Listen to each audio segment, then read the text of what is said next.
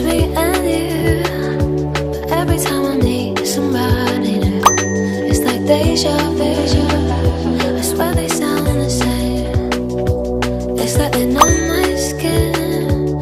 Every word they say sounds just like you, and it goes like this: We'll get in your car and you'll need to kiss me. We'll talk for hours.